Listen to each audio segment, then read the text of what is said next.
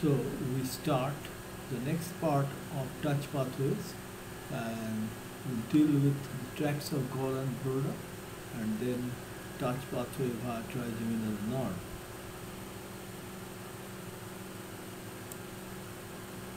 Now in this slide you can see we describe the tracts of Goll and Burdach.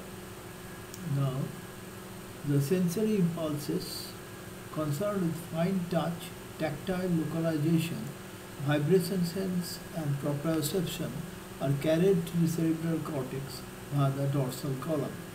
Now the dorsal column that is the tracts of Goll and Burdach, they are concerned with at least four types of sensation that is fine touch, tactile localization, vibration sense and proprioception.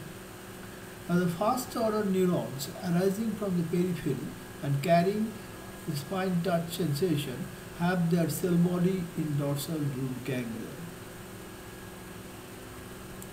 So here is the first order of neurons and they uh, carry the fine touch and they, are, they have the cell body at the dorsal root of ganglia.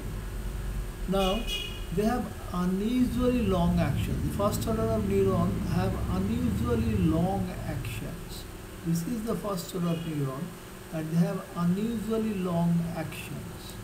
Uh, in contrast to the crude touch pathway we have described before that uh, they have short axons. They, uh, the crude touch had short axons ending in the posterior horn of the spinal cord.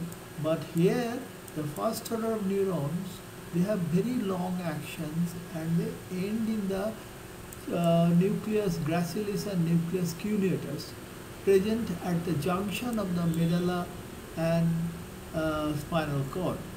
So uh, these, these are a very long axon of the first order of neuron in tract of Goll and Burdach and they pass through the fasciculus gracilis and fasciculus cuneatus they pass through the fasciculus gracilis and fasciculus cuneatus, uh, which are the dorsal column tracts.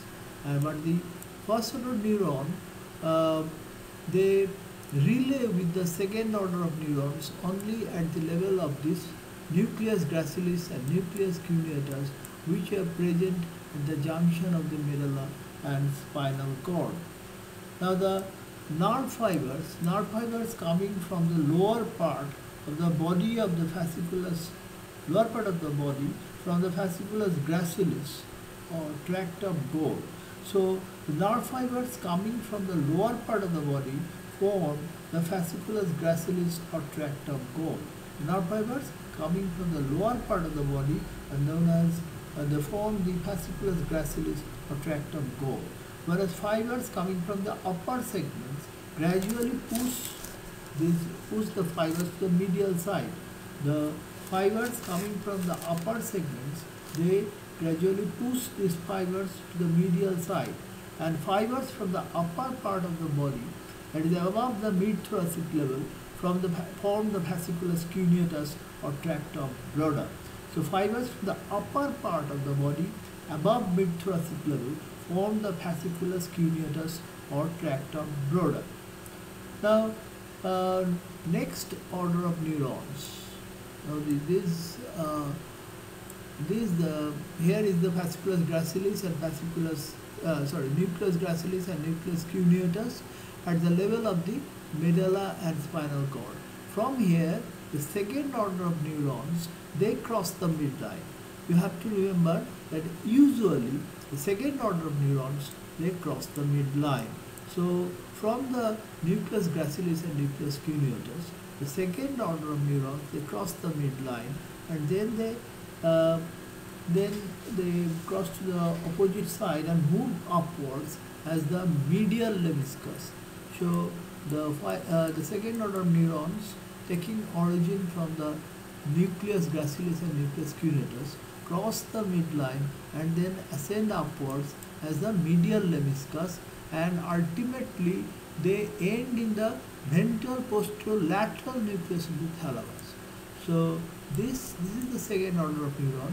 They arise from the nucleus cuneatus and nucleus gracilis at the level of the junction between the medulla and spinal cord, cross to the opposite side, cross to the opposite side, and then they ascend as the medial lemniscus and ultimately end in the ventral posterior lateral nucleus of the thalamus. You, you already know that ventral posterior medial the thalamus is the termination of the touch fibers coming via the trigeminal nerve from the face. Now, the third order of neurons arise from the ventral posterior lateral group of nucleus. They pass through the uh, posterior limb of the internal capsule and end in the postcentral gyrus. So, uh, third order of neuron, the third order of neuron arise from the ventral posterior lateral group of nucleus. Pass through the uh, posterior limb of the internal capsule and end in the post, postcentral gyrus and the cerebral cortex. Now, some fibers known as posterior external arcuate fibers arising from the accessory cuneate nucleus passes pass up pass ipsilaterally ending in the cerebellum. These are responsible for unconscious proprioception. So some fibers known as uh, some fibers known as posterior external arcuate fibers. Posterior external arcuate fibers arising from the accessory cuneate nucleus. Arising from the accessory cuneate nucleus is some somewhere around this fasciculus cuneatus and fasciculus gracilis. Now these from sidewards from this accessory cuneate nucleus, they go to the cerebellum and they are uh, responsible for unconscious proprioception. So that is all about the tract of Goll and Burdach and that is the dorsal column fibers. The first order, uh, if we again quickly trace it, the first order of neurons having the cell body in this dorsal root of ganglia, they enter the spinal cord and pass right uh, up uh, to the ipsilateral side, right up to the nucleus gracilis and nucleus cuneatus at the junction of the spinal cord and medulla. So these are long first order of axons uh, coming right, right up the spinal cord and ending in the fasciculus gracilis and fasciculus cuneatus. In this uh, diagram, it is uh, it appears very short, but you have to remember that they pass right up the spinal, right up the spinal cord to the nucleus gracilis and nucleus cuneatus at the level of the medulla and spinal cord. And uh, suppose this segment, suppose this segment is a lower segment, suppose it is a lower lumbar segment, then these fibers, this length from this lower lumbar, lumbar segment right up to the nucleus gracilis and nucleus is very long. So this first order neuron is very long and these neurons are probably the most uh, longest neuron in the body.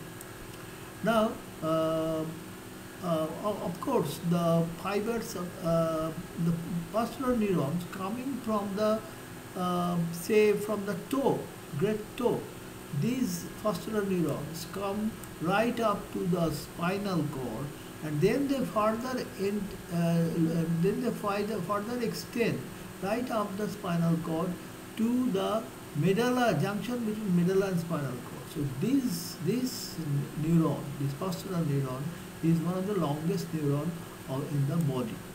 Now from the this nucleus uh, gracilis and nucleus cuneatus, the second order of neuron uh, crosses the midline. They cross the midline and ascend upwards as the medial lemniscus and ultimately end in the ventral posterior, uh, posterior lateral group of nucleus, the thalamus. And from there, the third order neuron arises pass through the posterior limb of the internal capsule and ultimately end in the posterior lateral nucleus of the thalamus. So that is about the tracts of Burdach, that is the dorsal column of neurons. Now next we will describe the uh, fibers from the face.